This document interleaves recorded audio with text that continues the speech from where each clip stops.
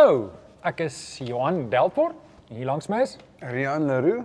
En uh, ons bied graag vir jou vanaand Bybelstudie aan. As jy nog nooit ingeskakel het nie, wil ek jou aanmoedig om te gaan na www.bybelstudie.co.za en die Bybelstudie boekie af te laai. Ons kom vanaand by bladsy 45 en Rian, ons uh, probeer iets nuuts.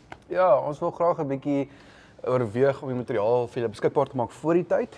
Ehm um, ons het altyd 'n volle lang studie gehad, maar ons het nou 'n nuwe formaat. So ek dink ons kan net vinnig vinnig opgaan nou 'n bietjie meer vertel, maar gespreksvrae. So gewoonlik wag ons vir almal om deel te neem in die gespreksvrae. Ja, dit lyk so ons, iets. Ons vind dat meeste van die meeste van ons inskakelaars kyk na die tyd Hmm. die video. Ek sê dat hulle doen Bybelstudie dalk op 'n ander tyd, nie spesifiek op Ja. 'n Woensdag aand nie.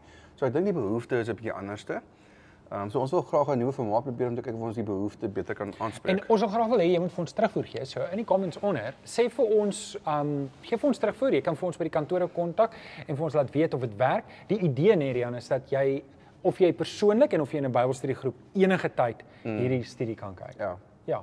Okay, so net die groepsbespreking verduidelik. So wanneer ons by 'n groepsbespreking kom, dan gaan hierdie skerm opkom. Hierdie skerm gaan opkom voordat ons ehm um, iets daaroor sê.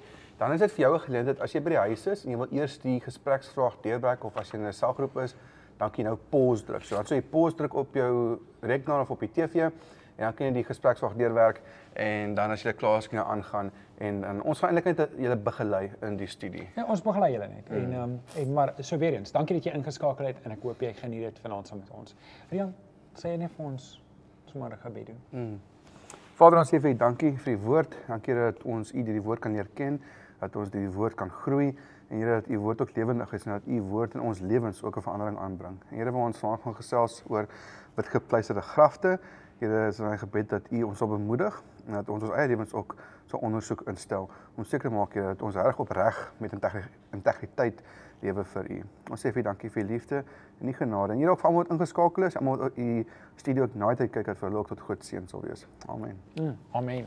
Amen. Nou ons is op bladsy 45 by uh, Bybelse idiome wit gepleisterde grafte en dit is 'n dis eintlik 'n tawwe een om oor te praat, nê? Nee? Ek het nie klug gehad wat dit beteken nie. Rara. Ja, ek ek ek, ek, ek was in Engelse skool gewees, nie Afrikaanse skool nie. ek verse- weet jy ek ek besef baie van hierdie idiome gebruik die jonger mense nie eintlik nie. Jy weet so Uh-uh. vir julle is dit vir jonger mense wat ingeskakel is is wat wat is wat sê wat se woorde is dit nog nooit gehoor nie. Maar vir die ouer mense is dit nou nogal hierdie ene ken ons. Bietjie meer bekend, ja. Ja, ja. Okay, so Matteus 23 vers 27 tot 28 sê: "Elende wag vir julle skrifgeleerdes en fariseërs, heiligelaars.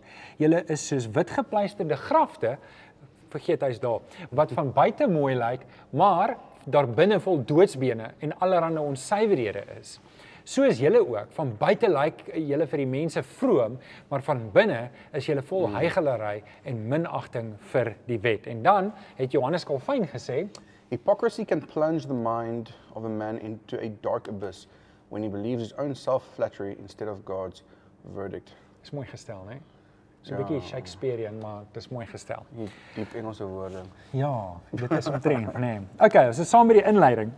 Um jou kinders doen nie wat jy sê nie, hulle doen wat jy doen. Is dit nie so nie? Nee, hulle volg in jou voetspore. Daar's 'n Afrikaanse idiom, ken jy hom? Wat dit impliseer? Appel van die ver van die boom. Die appel val nie ver en ons nog een, hè?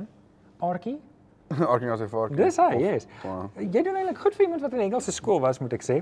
Ehm um, alhoewel alhoewel hierdie spreekwoorde dalk nie onmiddellike effek het in, in ons ehm um, in ouerskap nie, is dit die uiteinde van ons ouerskap. Ons kinders doen op die einde van die dag wat ons doen, al probeer ons hulle anders leer. Vandag se studie kyk ons na skynheiligheid. Skynheiligheid is wanneer ek mense doelbewus mislei met my optrede en my woorde met die doel dat hulle 'n ander indruk van my sal hê as wat die waarheid is. So aan die ander woorde ek gee voor om iets te wees wat ek nie is nie. Ek gee voor om iets te wees wat ek nie is nie. En dit bring ons dan by witgepleisterde grafte en dit is waarvan Jesus dan die Fariseërs beskuldig het. Nou, kom ons lees nou sommer die hele teks, Rian. Ek gaan vir jou gee om die teks te lees mm. van Matteus 23 vanaf vers 13. Tot 28. Ja. Alright. Sê maar as ek moet oorneem. Nee, is reg. Elende wag vir wag vir julle skrifgeleerdes en fariseërs en heiligelaars. Julle sluit die deur van die koninkryk in die mense se gesig toe. Julle gaan self nie in nie en julle verhinder die wat wel wil ingaan. Elende wag vir julle skrifgeleerders en fariseërs, heiligelaars. Julle trek oor see en land rond om een bekeerling te maak en as dit word, maak julle hom twee maal so ryp vir die hel as wat julle self is. Ja, is erg. Ellende wag vir julle. julle wat ander wil lei en self blind is. Julle sê as iemand by die tempel 'n eet af lê, is hy nie aan sy eet gebind nie, maar as hy by die goud van die tempel eet af lê, moet hy eet nakom. Blinde blinde dwaase. Wat is belangriker, die goud of die tempel waar die goud geheilig word? Julle sê ook as iemand by die altaar eet af lê, is hy nie aan sy eet gebind nie, maar as hy by die offergawe bo op die altaar eet af lê, moet hy eet a die eet nakom. Jene is omtrent te Ja, hulle Weet- het klomp baie wette en reëls gemaak, né? Nee? Ja, amper soos hulle gee vir hulself 'n kans om weg te glip. Ja. Ja. Julle blindes, wat is belangriker, die offergawe of die altaar waar deur die offergawe geheilig word? Wie by die altaar eet af lê, lê eet af by die altaar en by alles wat daarop is. Wie by die tempel eet af lê, lê eet af by die tempel en by God wat da, wat daarin woon. En wie by die hemel eet af lê, lê eet af by die troon van God en by God wat daarop sit. Ellende wag vir julle, skrifgeleerdes en fariseërs, hygelaars. Julle gee tiendes van keisement, anys en koljander, maar wat volgens die wet van God die swaarste weeg, laat julle na: geregtigheid, barmhartigheid en betroubaarheid. Juis hierdie dinge moet 'n mens doen en die ander nie nalat nie. Blinde leiers, julle skep nie muggie uit julle beker uit, maar julle sluk die hele kameel in. Ellende wag vir julle skrifgeleerdes en fariseërs, hygelaars. Julle maak die buitekant van die beker en die skottel skoon, maar binne is hulle vol hebsug en onmatigheid. Blinde fariseer, maak eers die binnekant van die beker skoon, dan sal sy buitekant ook skoon wees. Ellende wag vir julle skrifgeleerders en fariseërs en hygelaars. Julle is soos witgeverfde grafte wat van buite mooi lyk, maar daar binne vol doodsbene en allerlei onsuiverheid is. So is julle ook. Van buite af lyk julle vir mense vroom, maar van binne is julle vol hygelary en minagting van die wet. Jene. Sjoe, En en Rian was dis so 'n lang skel. en dis 'n lang teks, maar uh, die rede hoekom ek dink is belangrik om die hele teks te lees is om te verstaan dat Jesus was nie sonder rede kwaad vir hulle nie. Wat is jou indruk van die teks wat ons gelees het? Hy is kwaad. En en ja. hoekom? Want hulle is wesens skyn heilig. Hulle maak al die reëls op dat hulle vir hulself kan wegkom, sekere manier eet af te lê, maar ander kere weet moet behou word. Oor die ja ja is ja, ja nee is nee. Um, so dit Jesus gaan maar het dit oor ook gesê, ja. Ja, ek dink dit was meer hulle was meer behep geweest met die klein reëls en die klein metodes en as hulle dalk eintlik was so dat wat En en dalk moet ek by sê, hierdie hierdie ouens het reëls opgemaak. Um met die met die intensie om hulle heiliger te laat lyk, maar om vir hulle jy het self gesê deurtjies te gee om by uit te kom. Mm. So jy weet as jy by die tempel 'n uh, 'n uh, 'n uh, uh, eet af lê dan is dit nou nie eintlik geldig nie, maar as jy by die goud by die tempel en en wat Jesus sê, hoorie, julle mis die hele punt. Weet God alles behoort aan God. Dis eintlik 'n baie mooi teks eintlik as jy dink daaroor. Ja, ons moet gewoon lank op hom kan stil staan. Ja, ja, ons gaan nou ongelukkig nie deur die hele teks gaan nie, maar ek dink jy kan in jou eie tyd daarop gaan. Maar kom ons kyk eers na hierdie idiom in vandag se konteks. Um wat opgeneem is in Anton Anton F en Prinsloo. op, Is hy op? Okay, kom ons kyk daar. So die uh, idiom in vandag se konteks, iemand is is 'n wit gepleisterde graf, is iemand is skyn heilig. In Engels someone is a whitened wat? Hoe spreek jy dit uit? Sepulchre. Sepulchres. That's Yo, sepulture. Ek dis dis nie. ek sepulchre. Jy het dit al geskryf. Ek het dit net gekopie. Dit kom uit Anton. Anton het dit gesê. En die betekenis daarvan is om skynheilig te wees. Rian. Alright, nommer 1 op bladsy 46. Alhoewel dit nog baie van toepassing is, word hierdie spreekwoord nie meer so gereeld gebruik soos in die verlede nie. Hierdie is eintlik 'n baie interessante idiom en as jy nie van die oorsprong weet nie, dan sal die idiom en sy betekenis vir jou glad nie verband hou nie. Die feit dat mense nie dadelik die betekenis uit die idiom self kan aflei nie, is die bydraende faktor waarom mense dit nie meer so gereeld gebruik nie. Ja, en soos jy sê, weet dis nie 'n spreekwoord wat jy ken nie. Mm -mm. Is daar 'n spreekwoord soortgelyk wat jy wat jy ken, wat jy gebruik? Wat gepleis is 'n graf. Ons sê jy's fake. nee, ek ek, ek kan nie so 'n Ek, ek Ja, ken hierdie dankie. okay, daar's 'n ander een, maar dis nie heeltemal dit nie, maar die, sy oggend en aand praatjies kom nie ooreen nie. uh, ja. Maar dis nie heeltemal dieselfde nie, maar dis maar net iemand wat in die oggend een ding sê en die okay, so. In elk geval, okay, dis tyd vir ons gespreksvraag. Waar het jy al hierdie idiom gehoor en hoe het jy dit al gebruik? Hoe dink jy beïnvloed die moderne gebruik van die oorspronklike vers die betekenis daarvan. So hier's nou 'n kans. Jy kan nou pause as jy in 'n Bybelstudiegroep is en ehm um, as jy klaar is, dan kan jy terugskakel. Alright. So, so net eers sê, wat wat wat dink jy van um, van Wel, ek het hom nooit tevore gehoor. Reg, wel, ek het hom gehoor, maar nie geweet wat dit beteken spesifiek nie. Okay, Ek okay. dink dit is iets te doen met fykerigheid, maar so meer dit reg is nie iets wat my groot geword het. Ja, ja, ja. So jy het geweet. Maar Ek gehoor, ek dink ek dink almal besef die die die ding van hoor jy 'n grafsteen weet impliseer iemand is dood, jy weet. Ja. So ek dink nie daar's regtig vreeslik misverstand rondom hierdie hierdie oom nie. Ek weet nie, stem jy saam? Ja. Okay, maar kom ons kyk nou na die oorspronklike Ja, ek wil betekenis. graag ek wil graag uitkom by oorspronklike betekenis. Ja, oorspronklike betekenis. Matteus 23 23 vers 27 ek sal hom lees. Ellende wag vir julle skrifgeleerdes en fariseërs, hygelaars, julle is soos wit geverfde grafte. Die ou vertaling, die 53 vertaling sê wit gepleisterde grafstene. Dis vir my mooi. Dis hoe ek hom ken. Wat van buite mooi lyk, maar daar binne vol doodsbene en allerlei onsuiverhede is. Ja, dis soos baie grafplase. Okay, baie grafplase, mees baie grafplase is eintlik maar baie ehm um, Verwaarloos. ja, verwaarloos en so voort. Dan kyk jy die wat regtig nogal mooi is en mooi na Ja. omgekyk word, maar op 'n dag daar binne jy kus kus met vol dooibene.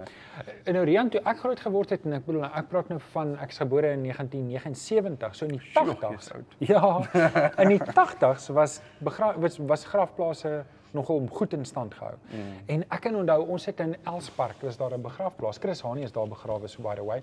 En um, weet jy wie's Chris Hani? Ek ken die naam, maar Okay, maar hy's daar begrawe in elk geval. En ek kan onthou as daar deur beweeg het, dan was daar hierdie groot grafstene. Ek het as kind altyd gedog, dit moet seker, sjoe, dit moet belangrike mense wees. En dan is dit hierdie groot engele wat staan en dink ek, hulle was seker predikante gewees of iets. ek ek het in Durban begrafplaas, ehm um, ek het nooit erg in begrafplaas gewees wat ek kan onthou nie. En ons was een hier in Durban wil. Ja, ja, ja, by Durban wil Baptist. Ja.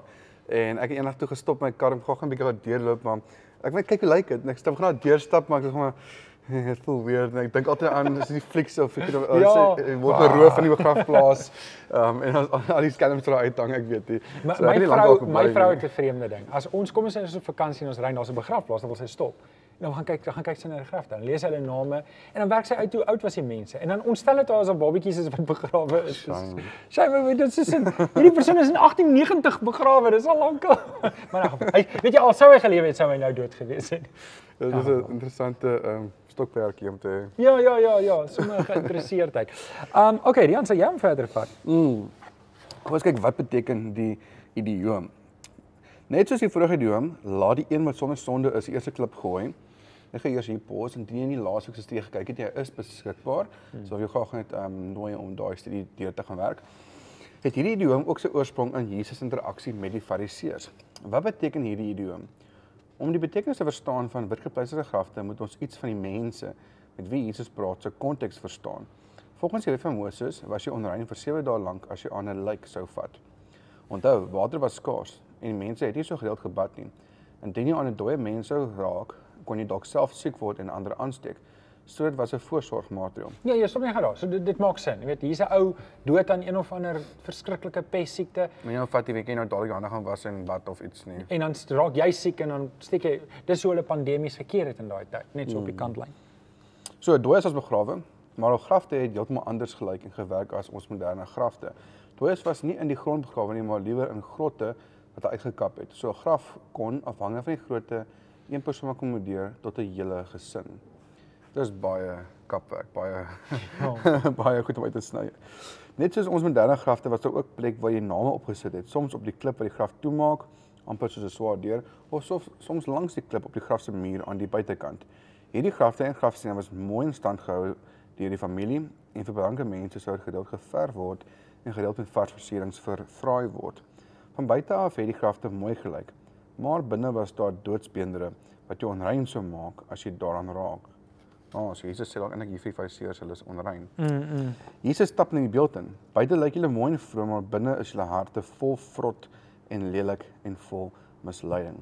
Jesus noem hulle hygelaars. Maar wat interessant is, is die Griekse woord hypocritus en in Engels hypocrite letterlik akteur beteken. Ja, dis interessant. Net gou daai sê. So Hippokrates het 'n het 'n um wat's naam geboue? Um nie 'n studio nie, 'n ateljee nie, weet 'n plek waar jy optree.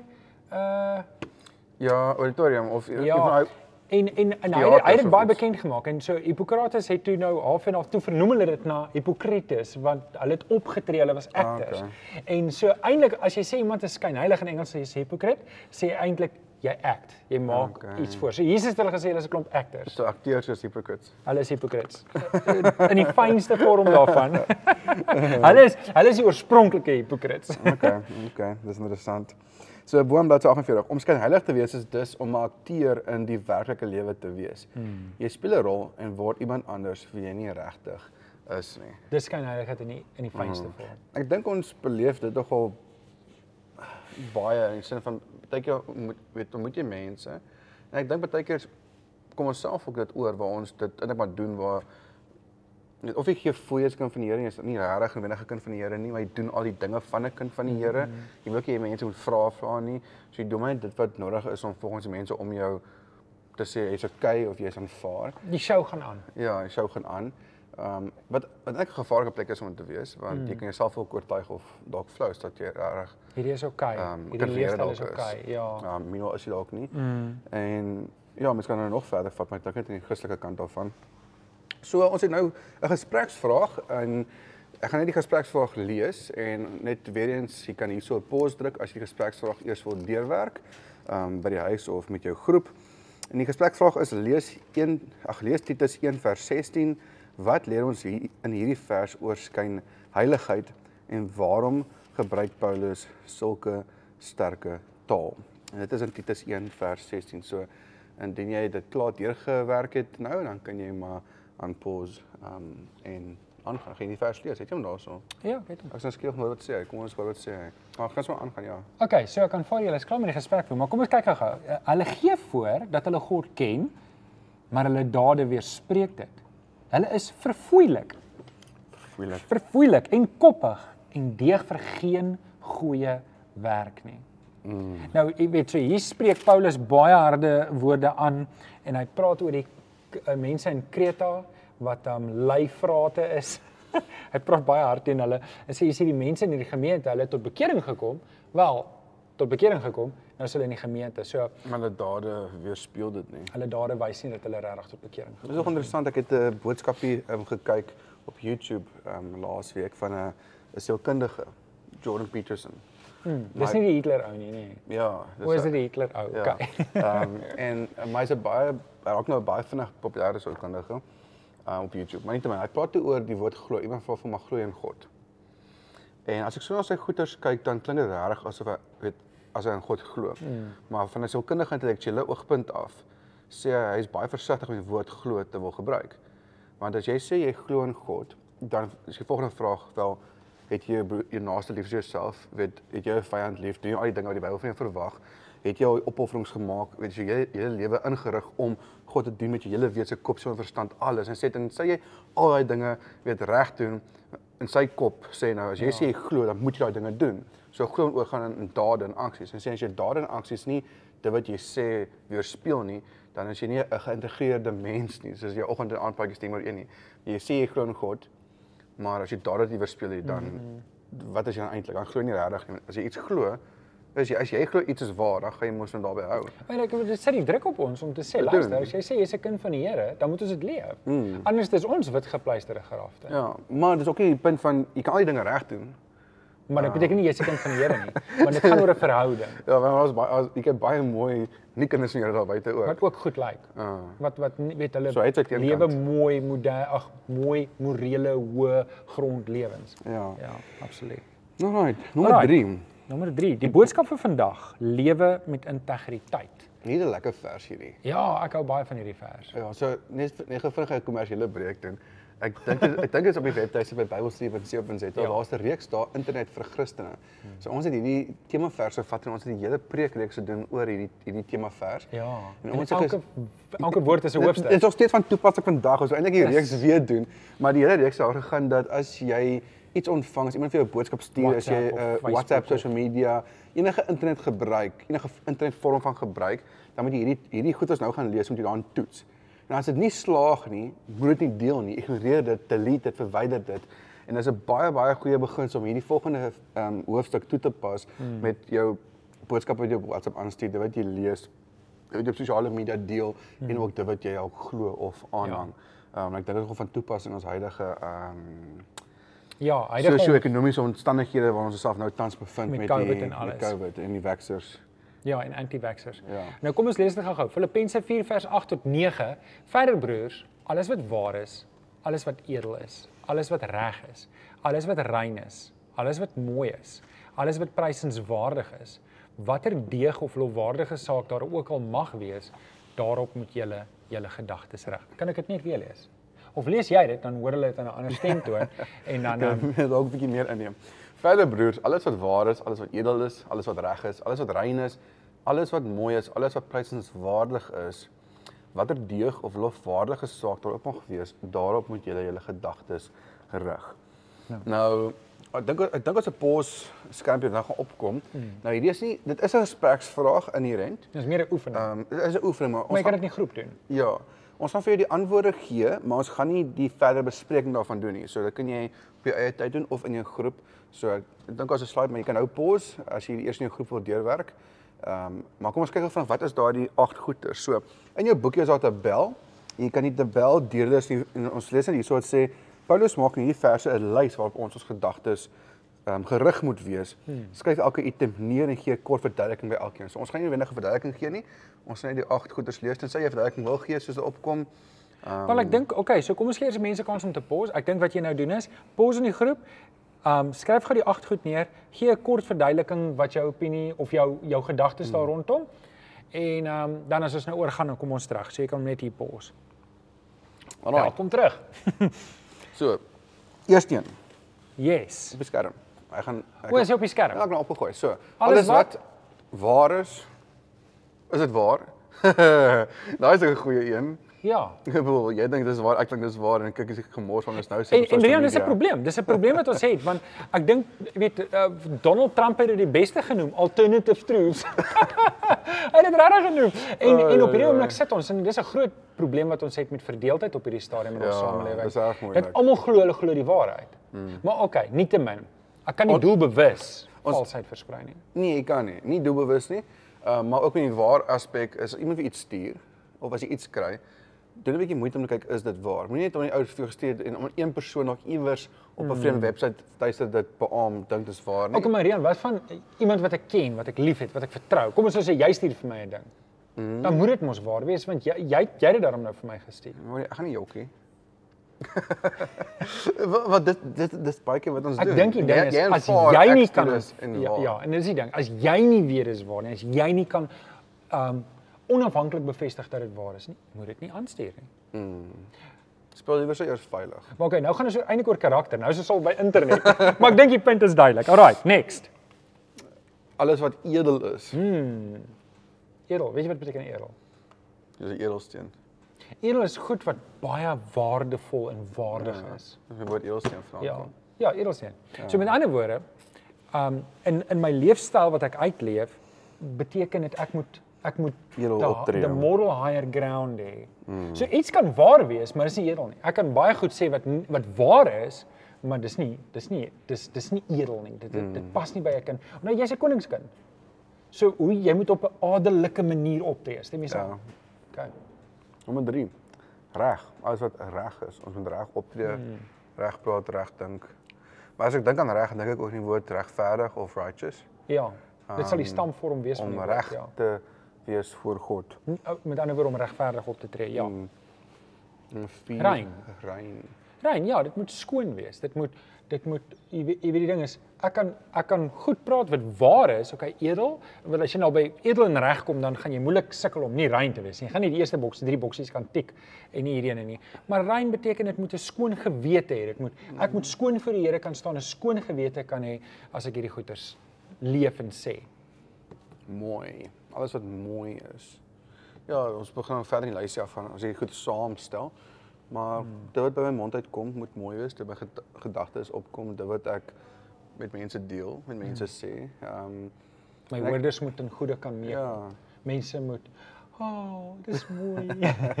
maar jy weet mense moet dis hoe ons mense na ons toe trek. As as ek weet jy het mooi woorde om te sê vir mense, dan gaan jy dan gaan dan okay. prysenswaardig. Alles wat prysenswaardig is. Ja. Daarop moet ons die vers sê daarop moet ons ons gedagtes. Reg. Op al hierdie goeders moet ons ons gedagtes reg. Dit wat waar is, dit wat eerlik is, dit wat reg is. As Dis iets nie prysenswaardig is nie, los Ja. dit, laat let it be. Nommer 7. Nommer 7 is deug. Nou ek wil net dalk net sê iemand iemand my gevra maar wat is nommer 7 en 8 want hulle sien dit nie noodwendig in die vers nie. Die vers noem al die goeders op dit noem eintlik die eerste 6. Ja, hy noem die Die eerste ander twee is byvoegsels. en dan sê hy watter deug of lofwaardige saak daar ook al mag wees. Daarop moet jy jou gedagtes. Ja, so ehm, in die ou rig. Afrikaans het ons gesê iets deug nie. Met ander woorde, dis nie van dis nie van pas nie. So daar's 'n tyd en 'n plek vir alles en en om deugsaam te wees of of of woorde te gebruik wat deug het. So ek moet weet hoe om my te gedra. Uh, jy lag nie by 'n begrafnis nie. Ek vat maar nou net 'n voorbeeld. Rian, jy moenie nou lag nie. Jy weet so jy moet weet om op te tree en dit moet lofwaardig wees. Dis etiket. Ja, ja. Ja, so, so iemand wat al hierdie dinge beoefen of wat dit daai eienskappe het, hy lewe met integriteit. Ja. Um, en ek dink hierdie agt goeders kan ons regtig oral toepas in ons lewens. Ja. Ehm um, publieke lewe, jou privaat lewe, geestelike lewe. Ehm um, dit moet vir ons riglyne bied vir pad vorentoe. So okay, Paulus sluit dan hierdie ge gedagte af en met 'n aandrang tot aksie in vers 9. Alles wat julle van my geleer het, moet julle ook doen. Integriteit is meer as net om eerlik te wees. Integriteit is wanneer dit wat ek glo, dit wat ek dink en dit wat ek doen geïntegreer is met my verhouding met die Here hmm. en dit is gesinkroniseer met my getuienis. Rian, opsomming. Jesus se beskuldiging aan die Fariseërs is hard. Mm. Ons kan hieruit leer. Dit help nie ons lyk mooi aan die buitekant, maar binne in ons harte is dit vrot nie. Dit is juist die punt van Christendom. Jesus het eers my hart kom verander en my leefstyl het daarbey aangepas. Ja. Dis nogal as jy dink aan 'n ander vers met Psalm met Jesus sê ek dis nie brandoffers of graanoffers wat ek soek, diereoffers of sonneoffers nie, maar gehoorsaamheid. Mm. Die Here is meer gepla oor wat in ons hart aangaan as wat Ja. wat die mense daar weet buite wenig dalk sien. Ja. En ek dink ook as die hart reg is, dan sal die uiterlike volg. Yes. Ehm um, saam met dit. Nou ja. So, dankie. Dis ons storie vir vanaand. Julle is nog welkom om 'n bietjie saam te kuier. Kom ons bid net saam. Here, dankie vir die woord. Dankie Here dat ons met integriteit voor U kan lewe. En Here, kom help vir ons. Daar waar daar valsheid en onsuiverheid in ons lewe is, dat ons dit voor U sal bely en dit laat staan en dat ons um holisties ons hele lewe geïntegreer sal leef vir Jesus. Dankie daarvoor. Seën vir ons in hierdie dag. Ons bid dit in Jesus naam. Amen. Amen. Amen. Bye bye, dankie. Die Here seën vir jou. Ons praat volgende week weer. Selfde tyd, selfde plek. Selfde tyd, selfde plek. Wel, weet nie selfde tyd nie, maar moontlik. Ja. Ja. Maar dit sal weer op hierdie tyd uitgesaai word. Die Here seën vir Yes. julle. Totsiens.